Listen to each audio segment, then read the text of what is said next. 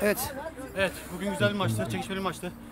2-0 geriye döktük, döndü, e, geri, 2-0 geriye düştük, geri dönmesini bildik. E, maçın Enes kardeşim, ayağına sağlık. İki golü var, bir asisti var. Çok iyi oynadı. Kaçan gollerimiz var, daha çok gol atabilirdik. Gerek onlar kaçırdı, gerek biz kaçırdık. Ama galip gelen biz olduk. Herkesin ayağına sağlık, iyi akşamlar. Güzel maç oldu, çekişmeli maç oldu. 2-0'dan dönmeyi bildik. Tüm takım arkadaşlarıma ayağına sağlık. Rakibimizi tebrik ediyorum.